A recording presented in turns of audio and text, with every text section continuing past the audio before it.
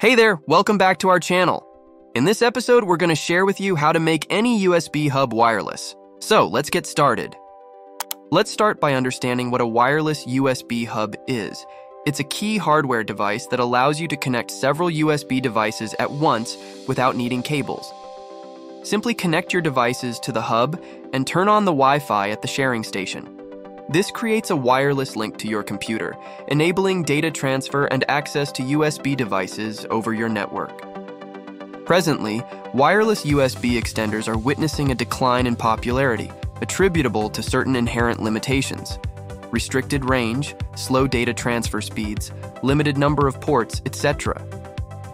But don't worry, there's a solution. Software options can replace physical USB over Wi Fi hubs. Let's explore one such advanced solution the USB Network Gate.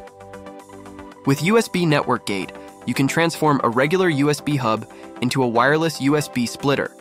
Just connect your devices to the hub, plug it into your computer, and voila. You can share access to these devices globally. Here's how to set it up. Install USB Network Gate software on the server computer designated as the wireless USB hub and on the client computers for wireless connection. Launch it on both machines. Connect the USB hub to your server computer and open the app. Share it with your client's computer.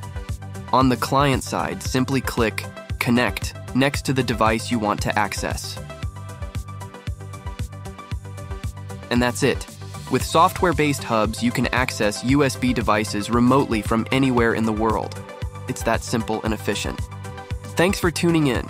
If you found this guide helpful, give us a thumbs up and subscribe for more tech tips and tricks. See you in the next video.